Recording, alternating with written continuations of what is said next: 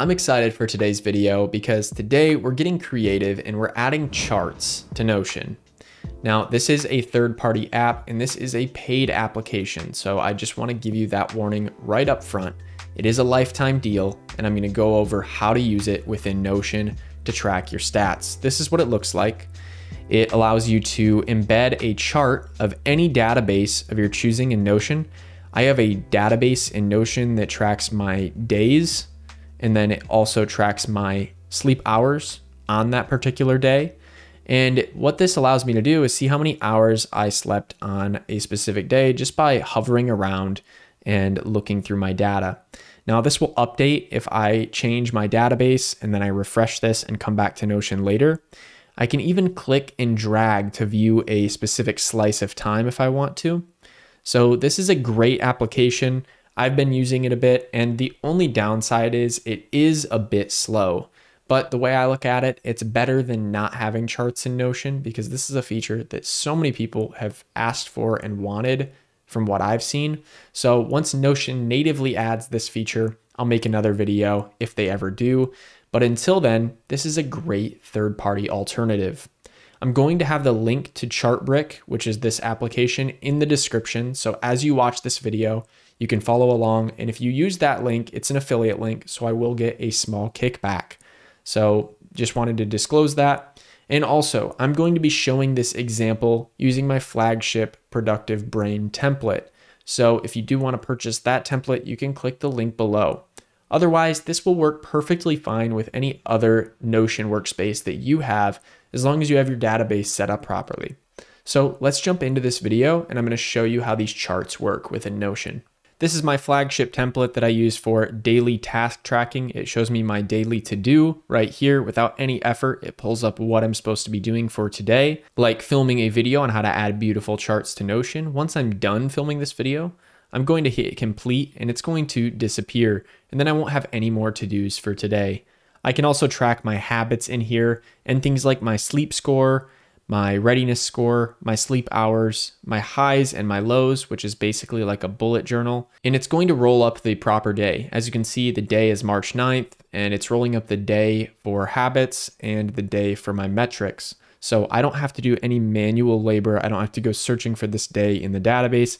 It's just going to pull up that day during the appropriate time on that day, and I can fill these things out. This template also includes things like a planning page, as well as a focus page where I can see my plan for the day. I recently just checked off my final task for the day, so I don't have a to do list in here. But if I had tasks planned for today, like this, then it would show up on my focus plan here. And I can set a priority level for it. It will even sort by priority level in here. So if I have a quick task, that gets put over pri one because these are things that take like three to five minutes. And furthermore, if I have a meeting taking place on this day, that will appear over Pri 1. But if these tasks were Pri 2 or Pri 3, they'd show up below Pri 1.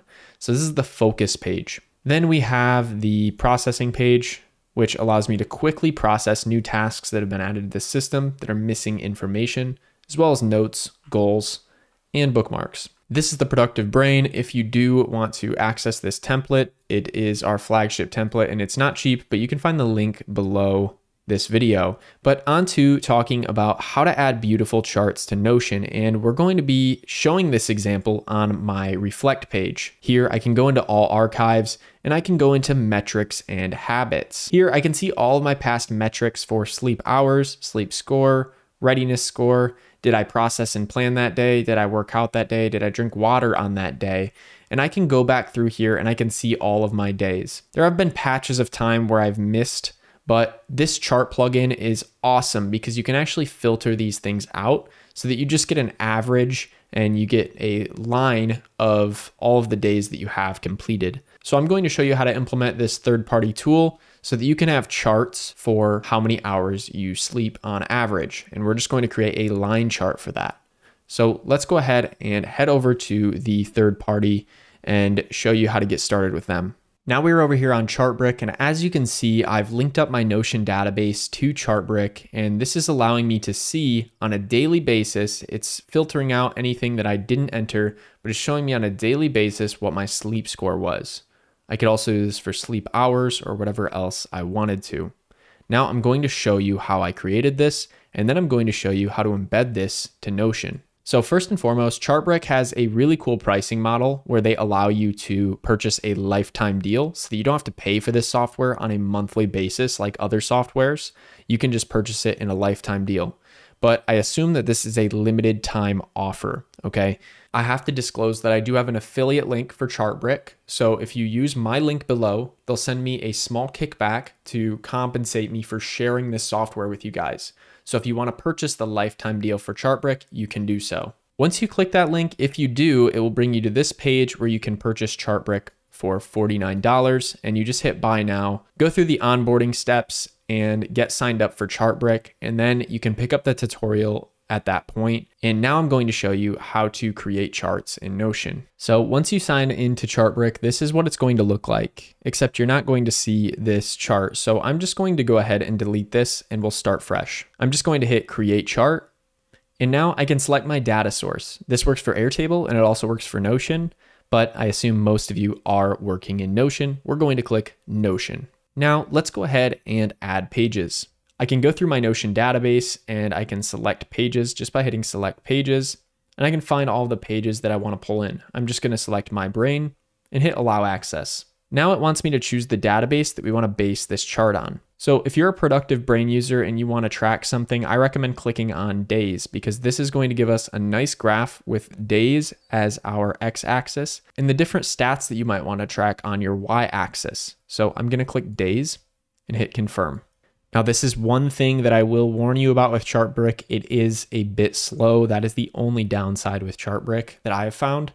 Everything else seems to work perfectly fine. It's a really good app, but it is slow. Now you're going to select a chart type of line. So if you're following along with me and you are a productive brain user, then you can choose the x-axis as date and then you can choose for Y whatever you want. This is going to be more specific to you. So for me, I'm just going to track my sleep hours, but this could be any of the other stats that you want to track. So I'm going to go with sleep hours. And as you can see, this is totally out of order. We're gonna hit sort, and then I'm going to go to select field, and we're gonna scroll down to date, and I'm just gonna set it to ascending. Now it's tracking all the days in order, and you'll notice that there are some days where we slept for zero hours, which isn't accurate. This is just because we didn't track on these specific days. So what I can do here is I can filter and I can add a filter to get rid of these days. So I can just do not equals zero. And then it's going to get rid of all of the zeros and really smooth things out a bit here.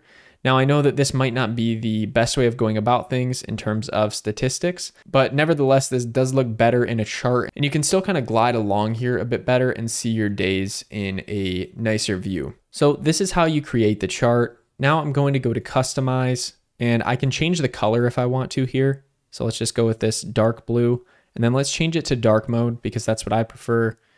And you can show the grid axis lines. I think it's good to do on X. On Y, not so much. So let's turn that off. Let's keep X axis on. Then we can change the data labels so that we can see our highs and lows. We can add a legend as well so that we see what this is based on. And we can add a title and a subtitle to this. So let's just say sleep hours by day. And then let's check subtitle and we can add a subtitle.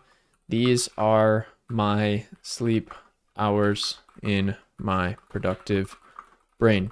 So now I have all of my stats ready to go and I can actually embed this in Notion now and it will update real time when I refresh Notion. So I just have to hit share, make chart public for embed, and then I can go ahead and copy this link right here. Just hit copy, click X, and then you're gonna wanna head back to Notion. Once you're inside of Notion, just decide where you want to embed this particular chart. You can throw it in a toggle list if you want, just by hitting the arrow and then hitting space typing in toggle list or whatever you want to name it. Let's just name it sleep hours chart. And then in here, I'm just going to click and hit slash embed. We're going to click on embed and I'm going to hit control V or command V if you're on Mac to paste that embed link.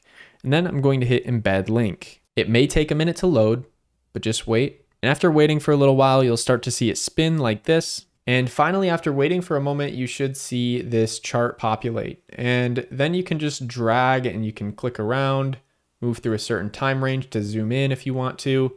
And this is very useful, I think, for looking at your stats within Notion. It is a bit slow, but I think it's better than not having charts at all. So uh, it's definitely something that I'm looking to implement into my version of the productive brain. I can't implement this for everyone because this is a paid feature. This is a paid third party, so you'll have to implement this yourself. So if you're a productive brain user, you can watch through this video and hopefully this helps you learn how to install this chart if you want to and then you can set it up for your particular use case. I hope today's video brought you value. If it did, please like this video, subscribe to stay updated with this content, and we'll see you in the next one.